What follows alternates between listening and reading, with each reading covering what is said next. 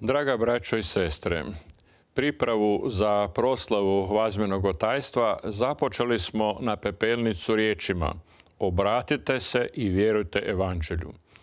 Razmislimo što znači riječ obraćanje, obratiti se. Da bismo je bolje razumjeli, zavirimo u stari zavjet gdje posebno u korizmenom vremenu pratimo putovanje izabranog Božjeg naroda iz egipatskog ropstva u obećanu zemlju. To je zapravo slika putovanja čovjeka i čovječanstva iz ropstva zla i grijeha u slobodu djece Božje. U povijesti izabranog naroda možemo pratiti kako su ljudi napuštali Boga i odlazili nekim svojim putem, klanjali se krivim bogovima i ponovno se vraćali jedinome pravome Bogu koji vjerno čeka.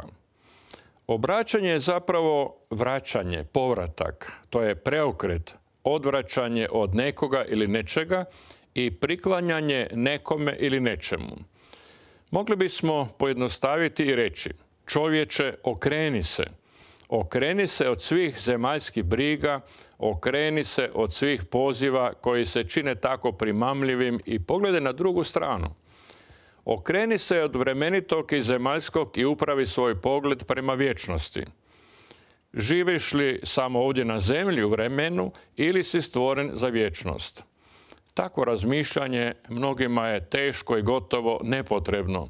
Ili kako će mnogi reći u ovom našem vremenu, konzervativno i zaostalo. Ipak smo ljudi 21. stoljeća, ljudi silnog napretka, bogati mnogim novim saznanjima i dostignućima, okrenuti prema budućnosti silno vjerujemo u čovjeka, njegove sposobnosti, njegov napredak. Obraćanje zahtjeva u čovjeku napor i traži od njega da ostavi svoj vlastiti životni smjer i okrene se prema onome koji kaže ne boj se, samo vjeruj. U mnoštvu pitanja koja se postavljaju ovom našem običnom životu ističe se pitanje a kome vjerovati? Tko je dostojan našeg povjerenja? Tko je vjerodostojan? Vjerujte evanđelju. Vjerujte radosnoj vijesti koju nam je donio Krist gospodin. Prihvatiti i vjerovati evanđelje nije ni pošto poput pristajanja uz neku ideologiju. Prihvatiti evanđelje znači živjeti evanđelje, prakticirati evanđelje. To znači odgovoriti na Isusov poziv pođi za mnom. U korizmi smo razmatrali Isusove posljednje dane u vremenitom zemaljskom životu. Išli smo zajedno s njim njegovim križnim putem i nadahnjivali se za naš vlastiti križni put, bilo osobni, bilo obiteljski, bilo narodni. Čak smo i pojedine tragedije cijeloga naroda, a posebno našeg hrvatskog, nazvali križnim putem. Razmišljali smo o smislu žrtve koju prihvaćamo za dobrobit čovjeka. Bez prihvaćanja žrtve nema prave ljubavi i mira, a to je ono začin čovjek najviše čezne. Isus nam je pokazao put i valja ga slijediti. I zato radosno pođemo s njim križnim putem jer nas na kraju čeka život. Čeka nas punina života.